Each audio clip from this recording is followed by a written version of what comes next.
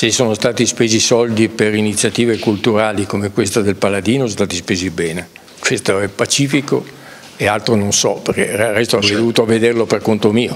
Soldi spesi bene dunque quelli per la cultura retina in particolar modo per la mostra di Paladino in Fortezza, secondo il filosofo e scrittore Massimo Cacciari. L'ex sindaco di Venezia, visitando la mostra, ha difeso a spada tratta questo tipo di investimenti che tanto hanno fatto discutere ad Arezzo per la loro entità nelle ultime settimane. Un'opera del genere, un allestimento del genere che valorizzano luoghi eh, poco noti della città come la Fortezza, eh, sono soldi ben spesi, non so quanti ne abbiano spesi, non mi interessa, ma sono soldi ben spesi, il resto, resto non parlo perché non ho nessuna conoscenza dei programmi culturali della città, so che è una grandissima fesseria quello di pensare che il nostro Paese possa ritenere cultura, promozione del nostro patrimonio, eh, ricerca, scuola, università, tutto questo immateriale come una spesa optional. Questo è demenziale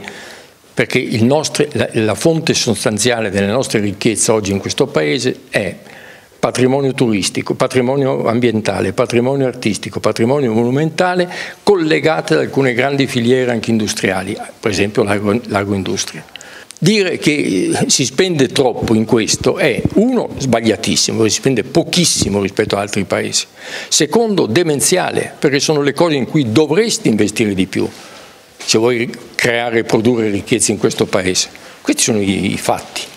Paladino è uno di quelli che rappresenta secondo me la nostra condizione. L'arte non salva, la filosofia non salva, però possono rappresentare con, eh, con realismo e con carica anche simbolica e con carica affettiva la nostra condizione. Se tu non conosci te stesso eh, nemmeno potrai sperare ad alcuna salvezza.